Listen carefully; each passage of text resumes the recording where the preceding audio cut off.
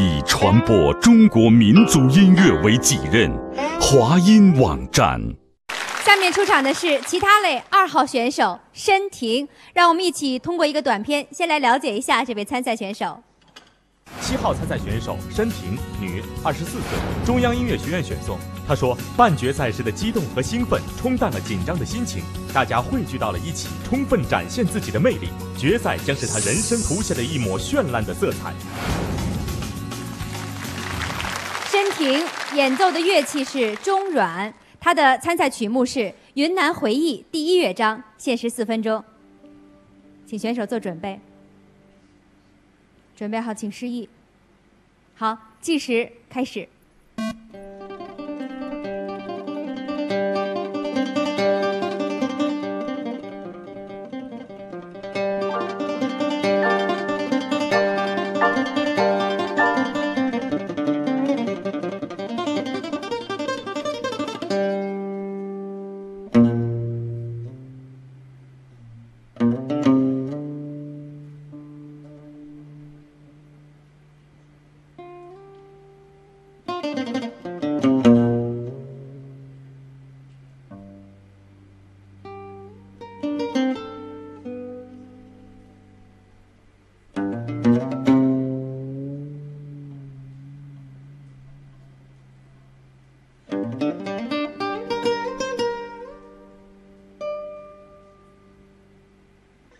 Thank you.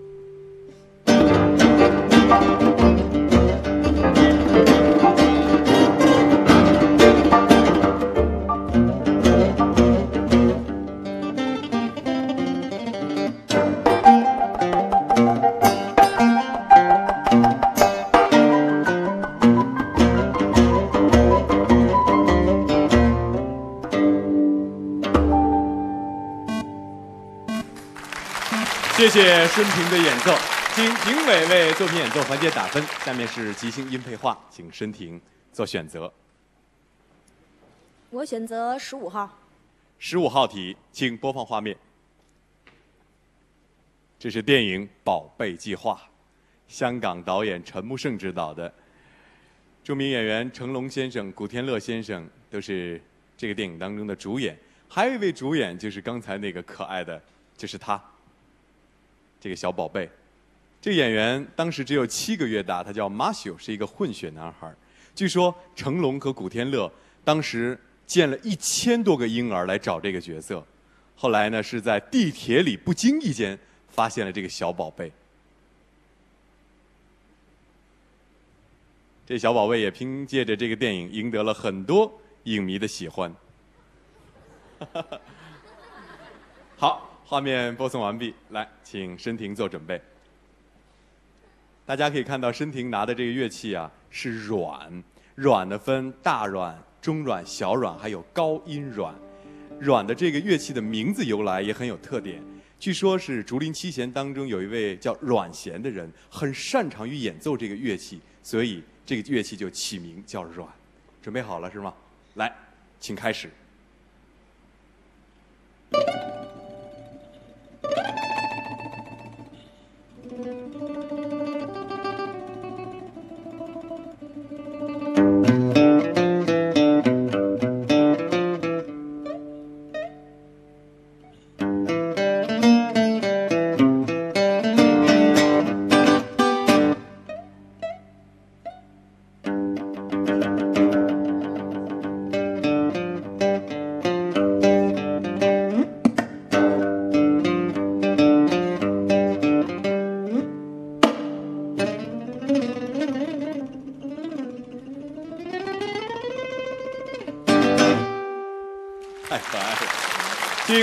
打分并做点评。《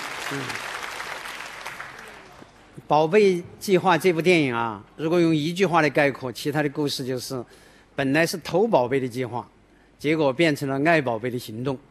嗯，这个这部影片它的基调就是非常幽默、非常轻松，但是呢还有那么点温情。他讲这三个盗贼本来受黑帮老大的委托去偷这个小宝贝，结果没想到偷来之后，这个小宝贝太可爱了。他们在养它的过程中跟它产生了感情，所以不但非常喜欢它，而且三个盗贼啊，心灵都受到了良心得到了发现，就重新发现自得到了这个有改正的机会吧，有改正的这种决心了。你抽到这段视频啊，呃，应该说基本表现还是不错的。你用了一种比较诙谐、幽默的这种氛围，呃，一种轻松的这种节奏，哎、然后还有点儿这种县乐县乐曲的旋律，是的，哎，很好，表现的不错，祝贺你，好。谢谢彭吉相评委。接下来进段广告，广告之后来看这位选手的得分。您现在收看到的是二零零九 CCTV 民族器乐电视大赛全国总决赛。欢迎大家回到总决赛的直播现场。现在让我们共同关注其他类二号选手申婷的得分。